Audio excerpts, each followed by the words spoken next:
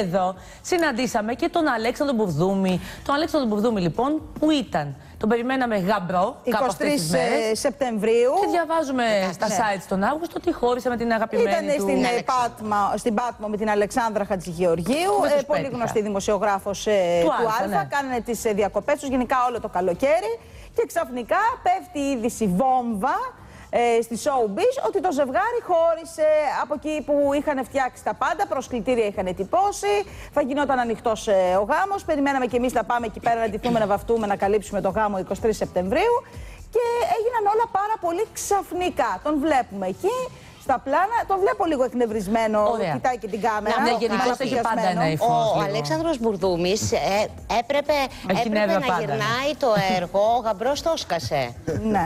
Ε, σύμφωνα με τον Ινήφη το έσκασε. Γιατί και στην προηγούμενη σχέση του που είχε με τη Χριστίνα Κοντοβά ήταν να παντρευτούν, προγραμματισμένο ήταν, ασχέτως αν δεν είχαν ορίσει ημερομηνία γάμου. Και ήταν συγκατοικούσε να- νομίζω και στην προηγούμενη. Βεβαίως, της το σχέσης. παραπέντε. Ωραία, ξέρουμε τι έχει συμβεί. Εντάξει, αυτό μπορεί να είναι πολύ προσωπικό των παιδιών. Αλλά αν έχει ακουστεί και αν μπορούμε να το πούμε δημόσια. Εγώ εκείνο που ξέρω Ναι. και το λέω με, ε, για πρώτη φορά τώρα στην εκπομπή ακούγεται αυτό είναι ε, ότι ο Αλέξανδρος Μπουρδούμης μάλλον το ξαναμαγειρεύει με τη Χριστίνα Κοντοβά. Τι!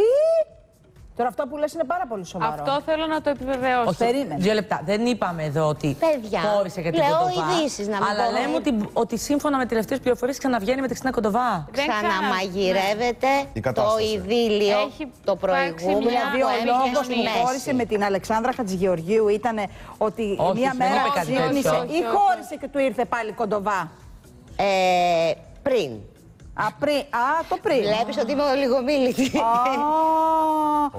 Έτσι, α, τι να δηλαδή δεν κάνω, είχε ξεπεράσει αγαπητέ με μου. λίγα λόγια την προηγούμενη σχέση του και προχώρησε τη ζωή Εντάξει, του. όταν λίγο κάνει μια Παιδιά, να σχέση σου πω μια κάτι, αυτό που κοιλιά, λέμε, μπορεί σκέφτεσαι να- τον πρώην. Έλα, σου αγάπη μου, λίγο. για πες. Όταν κάνεις μια κοιλιά, σκέφτεσαι τον πρώην σου. Εγώ ξέρω ότι έχει μια επικοινωνία με Καλέ, τη όταν Χριστίνα. πας να κάνεις να Τον πρώην σου παντρευτεί, το σκέφτεσαι σκέφτεσαι τον μόνο πρώην. όταν, το- όταν Έχει ακόμα τελειώσει. έχεις αισθήματα για εκείνον. Όταν ε, πλέον έχει τελειώσει μια σχέση, Παιδιά, δεν και σκέφτεσαι εσύ τον που Δεν πρώην. σκέφτεσαι τον πρώην σου, Αυτό. Δημήτρη, όταν πας να παντρευτείς έναν άλλον Αυτό, άνθρωπο. αυτό. Ναι, για να χώρισαν όμως κάπου έμπαζε η σχέση. Δεν χώρισαν έτσι ξαφνικά. Εντάξει. Πάντως το φοβερό, τώρα περιμένετε τώρα γιατί εγώ δεν τα ήξερα αυτά, αλλά το, το πας Έτσι, λίγο το. τα φέρνω Ναι, η Χριστίνα ξαφνικά. Κοντοβά ξέραμε ότι και αυτή είχε φτιάξει τη ζωή της και είχε σχέση. Έχει και στην χωρίσει. Μύκονο. Για τον ναι, Τζόνι Καλημέρη δεν ισχύει ποτέ. ε, ότι είχε μία σχέση και ότι χώρισε μέσα στο Ε, ναι, καλοκαίρι. επειδή γραφόταν για τον Τζόνι Καλημέρη, αυτό εγώ σας λέω ότι δεν ίσχυε 100%. Ναι, Α. ε, εκτός από τον Τζόνι Τον Καλημέρη Καλημέρη είχε και άλλη. υπήρχε άλλη Η σχέση Βίλιο με είχε. επιχειρηματία η Έτσι. οποία είχε ακουστεί. Αυτό το ήξερα. Ε, ναι βεβαίως. Και χώρισε και αυτή. Και χώρισε και Άρα, αυτή. δύο λεπτά, όταν χωρίζουν δύο πρώην και λέμε τώρα ότι μπορεί Κάνει πρώην να ένα γίνουν νυν, ε, αυτό Ρε παιδιά, παιδιά, είναι τι λέτε τώρα, υπερμαναφούκι. χωρίζω εγώ, χωρίζω πρώην, πρέπει να ξαναβρω με τον πρώην. Η πρώην είναι Κοίταξε, πρώην. παιδιά, δεν Τελείωσε. είχε Είναι το κάτι- timing. Δε- δεν είναι και Καλοκαίρι κάτι έγινε το Ναι. εξωπραγματικό. Άκουσέ με, δεν έχει κάτι εξωπραγματικό. Μην σας φαίνεται και ε, τόσο περίεργο πια. Γιατί να σου πω κάτι; Εδώ παντρεμένα μπορεί ζευγάρια ουσιαστικά- καλά τα ξαναβρίσκεις. Ακριβώς. Και μπορεί ουσιαστικά ο κύκλος, ο ερωτικός κύκλος ανάμεσα στον Αλέξανδρο Μπουρδούμη και στη Χριστίνα Κοντοβά να μην είχε κλείσει και ποτέ. Μην ξεχνάμε ότι ήταν Μάλιστα. μια σχέση που ήταν γύρω στα πέντε χρόνια. Μεγάλη σχέση, Λοιπόν, έτσι. Θα δείξει, ο χρόνος θα, Θα δείξει. Να δείξει, πω θα κάτι για τον δείξει. Μπουρδούμη πάντως. Κάνει κάθε Κρατήστε χρόνο το. πολύ καλές δουλειές.